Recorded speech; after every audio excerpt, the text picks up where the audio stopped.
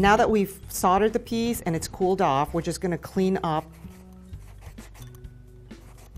the seam. So now see, by adding heat to it, because it's sterling silver, it's turning black, it's oxidation. So using sandpaper, you can pretty much um, shine it all back up again.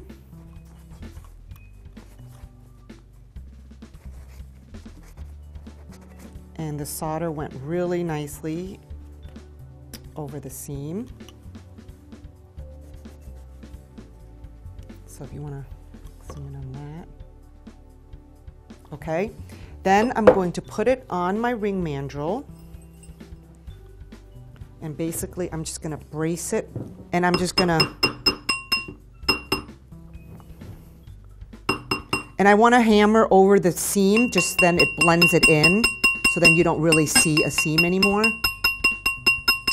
So then there's a lot of different kinds of hammers that you can buy.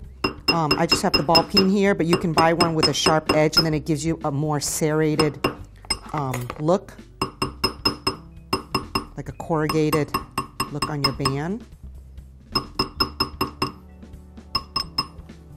So um, let me just add a little bit more. So you're just gonna hammer and keep turning it as you hammer. There's no like pattern or anything involved.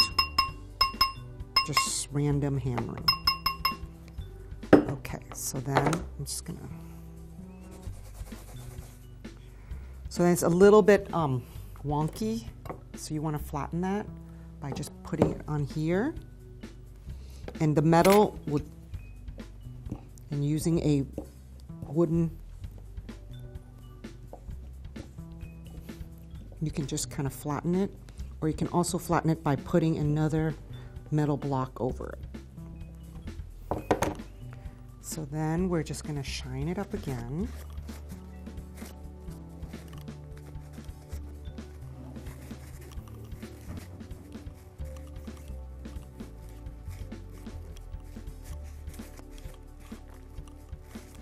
And that's it. And you have a textured band.